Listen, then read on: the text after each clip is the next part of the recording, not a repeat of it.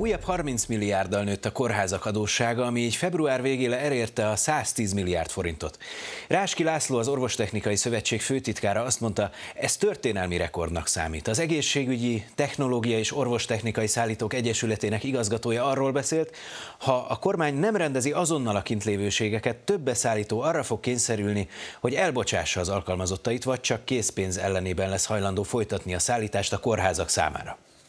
A négy egyetemmel együtt csak nem 110 milliárd az intézményrendszer adóssága, ez mindenképpen történelmi rekord. Bár a kórházi eladósodás régi probléma, a mostani helyzet lényegesen súlyosabb a korábbiaknál, magyarázza Ráski László, az Orvostechnikai Szövetség főtitkára.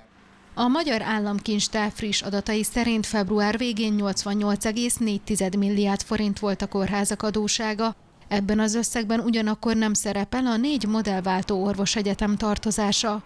Utóbbi intézmények február végén 18,7 milliárd forintot görgettek maguk előtt. Különösen két tényező az érdekes. Az egyik, hogy ugye tavaly decemberben volt egy 90 milliárdos adósságrendezés, de ez is csak 60 milliárdra tudta levinni az adósságot. A másik pedig, hogy az év első két hónapjában, tehát januárban, idén januárban és februárban 19-20 milliárddal nőtt mind a két hónapban az adósság. Egy hónap alatt ez közel 30 milliárd forintos emelkedés jelent, a január végi 67,6 milliárd forintnyi adósághoz képest. Ráski László hangsúlyozta, míg pár évvel ezelőtt az intézményrendszernek valamivel több mint a felét érintette az eladósodás, mára már az összes kórháznak van kifizetetlen tartozása a beszállítói felé.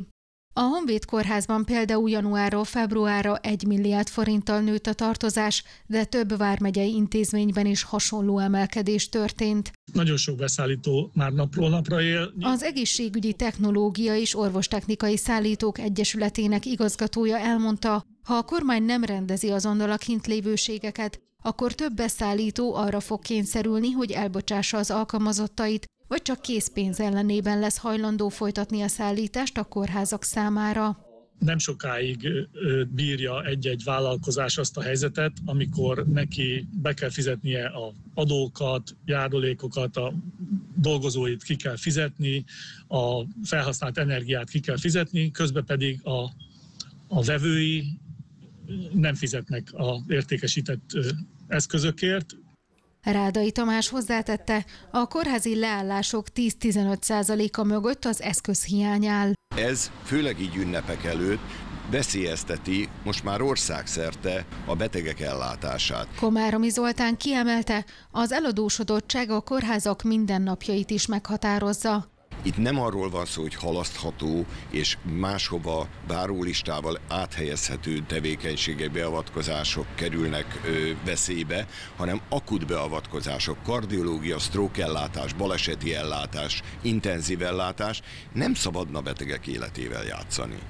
Kerestük az ügyben a belügyminisztériumot. Válaszokban azt írták, hogy csak a tavalyi évben 90 milliárd forintot fordítottak a kórházi adósságok rendezésére.